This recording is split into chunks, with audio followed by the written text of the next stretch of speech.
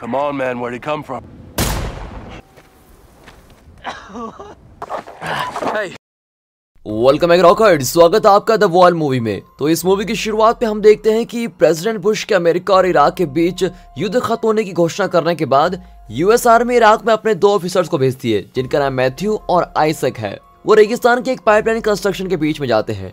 Matthew आइसक को वहाँ पर दुश्मनों पर नज़र रखने के लिए भेजा जाता है, क्योंकि वहाँ पर दुश्मन सभी अमेरिकन को मार रहे होते हैं। अब आगे हम देखते हैं कि वो दोनों एक पहाड़ी के पीछे छिपकर दुश्मनों के इलाके पर नज़र रखते हैं। और रेगिस्तान की चिलचिलाती धूप में वो दोनों पिछले 20 घंटों से स्नाइपर को ढूँढने की कोशिश कर रहे हैं। अब इतने घंटे इंतज़ार करने के बाद मैथ्यूज अपना सब्र खो देता है और कहता है कि वहाँ कोई भी राख सैनिक नहीं है।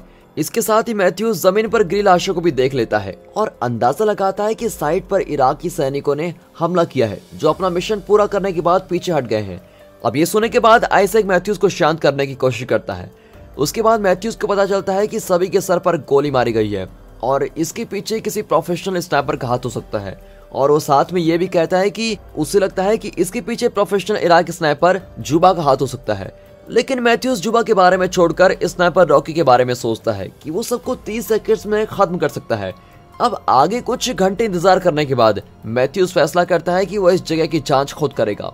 फिर मैथ्यूज खुद को कवर करता है और अपने हथियार लेकर चला जाता है। इसके बाद मैथ्यूज आइसेक को पीछे से कवर करने के लिए कहता है और फिर ऑन कंस्ट्रक्शन साइट की तरफ़ चल पड़ता है। मैथ्यूज को बहुत सी लाशें मिलती है। फिर मैथ्यूज किसी सैनिक का रेडियो उठाता है और आगे बढ़ता ही रहता है और दूसरी तरफ़ आइसेक उस पर नज़र रखने की कोशिश करता है। लेकिन इसी बीच आइसेक जल्दी से मैथ्यूज को ये बताता है कि उसका स्कोप ढंग से काम नहीं कर रहा है और उसको देखने में दिक्कत हो रही है। और तभी मैथ्यूज कहता है कि तुम अपने उस स्कोप को फेंक डालो और दूसरे स्कोप को लगाओ। लेकिन आइसेक मैथ्यूज को याद दिलाता है कि ये स्कोप उनके एक बहुत ही खास और प्यारे दोस्त डीन का है, जिसके साथ इसकी काफ़ी सारी भावनाएँ जुड़ी हुई है। उसके बाद मैथ्यूज लाशों को देखकर काफ़ी चौंक जाता है, क्योंकि सभी को सर पर ही गोली मारी होती है। मैथ्यूज को डर लगता है कि वो स्नैपर उनके आसपास ही है और इसके बारे में आइसक को बताता है। ये सुनने के बाद आइसक मैथ्यूज को जल्दी वापस आने के लिए कहता है। अब आइसक के कहने के बावजूद भी मैथ्यूज साइड के बीच में खड़ा होकर शूट की डायरेक्शन देखने लग जाता है। यहाँ आइसक रेडियो से चिल्लाता और मैथ्यूज को पीछे हटने के लिए कहता है, लेकिन अब बहुत ही देर हो चुकी होती है। स्नाइपर मैथ्यूज पर निशाना लगाता है और उसके पैर में गोली मार देता है। और ये देखने के बाद आइसक जल्दी से मैथ्यू की तरफ़ भागता है। लेकिन इससे पहले वो मैथ्यू को सुरक्षित जगह पे लेके जाए। स्नाइपर आइसक के पैर में भी गोली मार देता है। और इसकी वजह से बेचारा आइसक मैथ्यूज को साइड पर छोड़कर किसी तरह बचकर दीवार के पीछे छिप जाता है। इसी दौरान मैथ्यूज आइसक को बेस से फ़ोन करके रेस्क्यू टीम को बुलाने के लिए कहता है। और दूसरी तरफ़ आइसक खून रोकने के लिए अपने पैर में कपड़ा बांधता है।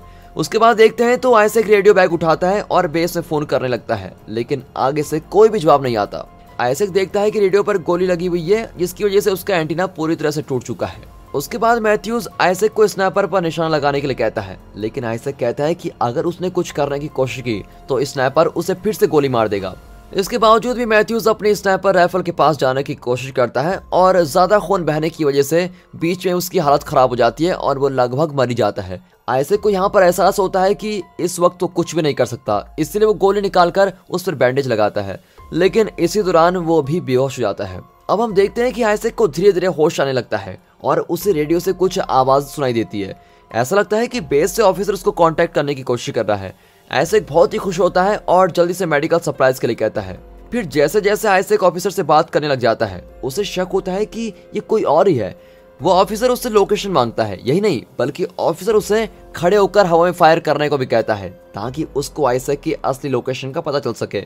ये सुनने के बाद आइसक कहता है कि ये कानून के खिलाफ है, और उसके बाद आइसक स्नैपर पर ध्यान देने लग जाता है, और उसको एहसास होता है कि वो कोई अमेरिकन ऑफिसर नहीं, बल्कि दूसरी तरफ़ का स्नैपर है, जो अमेरिका की रेडियो फ्रीक्वेंसी चला रहा है। अब इसके बावजूद भी स्नैपर आइसक को बात करने के लिए कहता है, क्योंकि वो उसके बारे में और जानना चाहता है। पहले तो आइसक स्नैपर को मना करता है, लेकिन जब स्नैपर मैथ्यूज को मारने की धमकी देता है तो आइसक को मारना पड़ता है।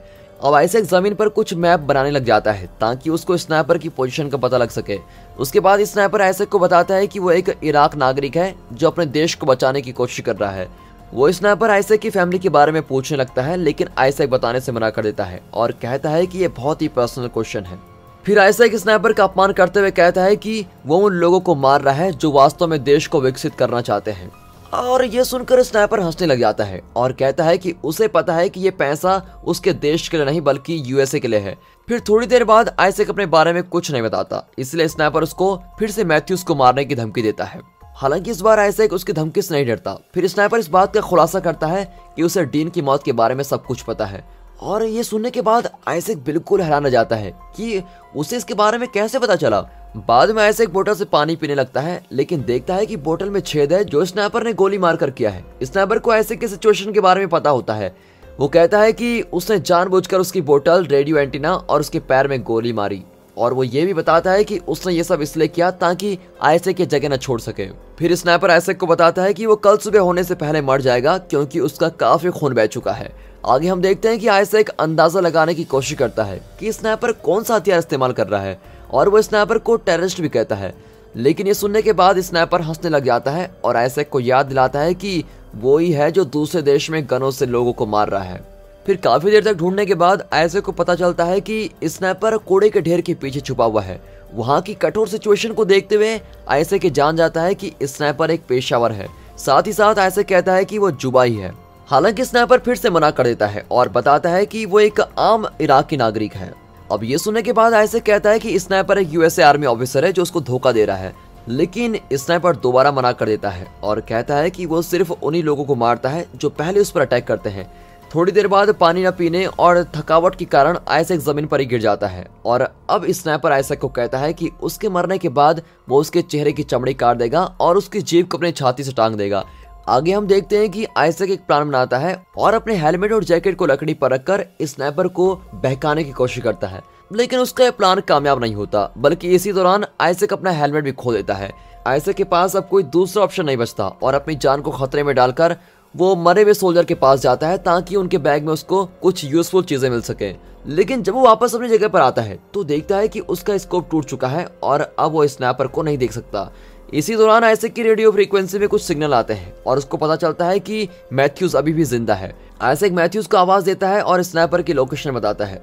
फिर मैथ्यूज अपने पॉकेट से एक कार्ड निकालता है और कूड़े के ढेर की तरफ़ देखता है। और फिर आइसेक स्नैपर को बातों में उलझाता है और मैथ्यूज किसी तरह अपने राइफल तक पहुँचने की कोशिश करता है। फिर वो स्नैपर बताता है कि वो बगदाद में टीचर था, लेकिन जब अमेरिका ने उसके स्टूडेंट्स पर हमला किया था, तब से उसने फैसला किया कि वो उनकी मौत का बदला लेगा। इसके बाद स्नैपर आइसेक से पूछता है, तुमने ये टूटा हुआ स्कोप क्यों रखा हुआ है? जिसके जवाब में ऐसे कुछ नहीं कहता। और वैसे ही स्नैपर मैथ्यूज को मारने की धमकी देने लग जाता है। और फिर थोड़ी देर बाद ऐसे बताता है कि इसको उसके फ्रेंड डीन की निशानी है। और वो ये भी कहता है कि उसकी गलती की वजह से डीन मारा गया था। इसी दौरान हम देखते हैं कि मैथ्यूज स्नैपर की तरफ़ निशाना लगाता है और बिना देखे उस पर लगातार शूट करने लग जाता है। लेकिन जैसे मैथ्यूज अपनी गन को लोड करने लग जाता है स्नैपर मैथ्यूज के कंधे पर गोली मार देता है। अब इससे पहले कि मैथ्यूज आइसेक के पास पहुँच पाता स्नैपर उसके सर में गोली मार देता है और मैथ्यूज उसी वक्त मर जाता है। ये देखकर बेचारा आइसेक बहुत ही टूट जाता है और घर जाने के लिए कहता है। अब इस पर स्नैपर कहता है कि अगर वो असलियत में घर जाना चाहता है तो वो उसको नहीं मारेगा। थोड़ी देर बाद स्नैपर आइसेक से पूछता है कि युद्ध खत्म होने के बावजूद भी वो यहाँ क्या कर रहा है? फिर आइसेक बताता है कि उसने ही असलियत में डीन को मारा है। आइसेक बताता है कि वो स्नैपर को मारना चाहता था, लेकिन गलती से डीन को मार दिया था। और उसने सभी को यही बताया कि डीन को दुश्मनों ने मारा है। फिर जैसे जैसे आइसेक स्नाइपर से बात करता रहता है, उसे रेडियो ट्रांसमीटर से आवाज़ सुनाई देती है। अब आइसेक जल्दी से रेडियो की तरफ़ जाता है और बेस में कांटेक्ट करने की कोशिश करता है, लेकिन उसकी बदकिस्मती से रेडियो पूरी तरह से टूटा हुआ होता है। आइसेक सिर्फ़ रेडियो में बातें सुन सकता है, लेकिन मदद नहीं मांग सकता। और अचानक से आइसेक सुनता है कि स्नाइपर उसका नाम लेकर मदद मांगने की कोशिश कर रहा है। अब आयसे को पूरा यकीन हो जाता है कि स्नैपर ही उस बेस से मदद मांग रहा है। वो उनकी बातों को काटना चाहता है, लेकिन वो काट नहीं पाता। फिर थोड़ी देर बाद ऐसे उड़ता है और किसी तरह मैथ्यूज की राइफल से स्नैपर पर निशान लगाने की कोशिश करता है। वैसे आयसेक देखता है कि हेलीकॉप्टर उसकी तरफ़ आ रहे हैं और फिर अपनी लोकेशन बताने के लिए आयसेक दीवार को गिरा देता है। उसी वक्त स्नैपर आयसेक को टारगेट करता है, लेकिन धूल की वजह से वो निशाना नहीं लगा पाता। उसके बाद आयसेक स्नैपर पर निशान लगाता है, और उसको पता नहीं चलता कि स्नैपर को गोली लगी भी है या नहीं।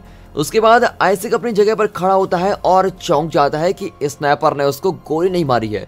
उसे तो लगता है कि शायद स्नैपर को गोली लग गई है या वो मर चुका है। फिर हेलीकॉप्टर लैंड करता है और कुछ ऑफिसर आयसेक को स्ट्रेचर पर लेके जाते हैं। आयसेक ऑफिसर से बात करने की कोशिश करता है, लेकिन वो इस हालत में नहीं होता कि कुछ बोल सके। अब जैसे ही हेलीकॉप्टर टेक ऑफ़ करता है स्नैपर एक एक करके सारे ऑफिसर को मारना शुरू कर देता है। इससे पहले कि आइसैक ऑफिसर्स को स्नैपर के बारे में कुछ बता पाता स्नैपर पायलट को गोली मार देता है और हेलीकॉप्टर नीचे गिर जाता है, जिसकी वजह से बेचारे सभी लोग मारे जाते हैं। और आखिर में हम देखते हैं कि स्नैपर अमेरिकन सोल्जर बेस में दोबारा कॉन्टेक्ट करता है और दूसरी रेस्क्यू टीम को भेजने के लिए कहता है। और दोस्तों साथ ही वो खुद को अमेरिकन सोल्जर भी बताता है। और इसी ट्विस्ट के साथ ही मूवी यहाँ पर खत्म होती है। तो दोस्तों, कैसी लगी आपको ये मूवी? आपको क्या लगता है कि स्नैपर कौन हो सकता है? हमें कमेंट करके ज़रूर बताइएगा। और ऐसी मज़ेदार मूवीज़ देखने के लिए हमारे चैनल मिस्टर हिंदी रॉकर्ट्स को ज़रूर सब्सक्राइब करें। बाकी मिलते हैं अगली वीडियो में। तब तक ले गुड बाय, अपना ख्याल रखिए। And finally thanks for watching